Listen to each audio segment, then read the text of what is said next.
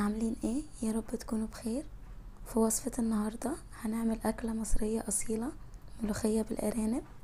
طريقتها بسيطة وطعمها حلو قوي. شايفين الملوخية والطشة تحفة. الملوخية ليها عرق كده ومطة خطيرة. أول حاجة حطيت حلة على النار وسبتها تسخن كويس. بعدين نزلت فيها بمعلقة سمنة. وأول ما تسيح هضيف كام فص مستكة. وأول ما ريحتهم تطلع كده هضيف كمان تلات فصوص حبهان. وورق لورا. بعدين هنزل بالأرانب متنضفة كويس جدا متقطعة قطع كده. هشوحها كويس كده من على كل جنب. بعدين هضيف الملح والبهارات.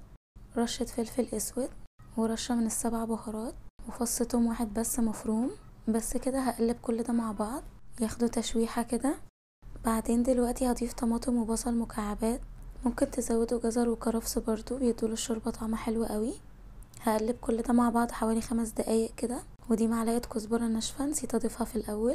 هزود بقى دلوقتي مية مغلية وبغطيها وبسيبها حوالي ساعة إلا ربع أو نص ساعة لغاية لما تستوي. وبعد ما تستوي بخرج الأرانب وبصفي الشوربة علشان نعمل الملوخية.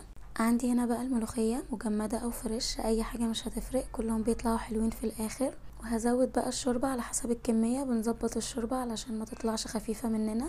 وضفت عليها كمان مكعب مرقة. وبسيبها تاخد غلوة واحدة كده وبرفعها من على النار.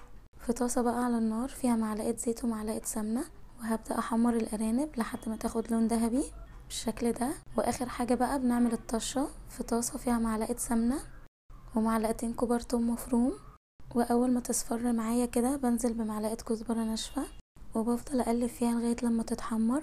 بعدين بنزل بيها على الملوخية بالشكل ده ريحتها تحفة. بقدمها بقى مع رز بشعرية طعمها خطير جربوها هتعجبكم بألف هنا.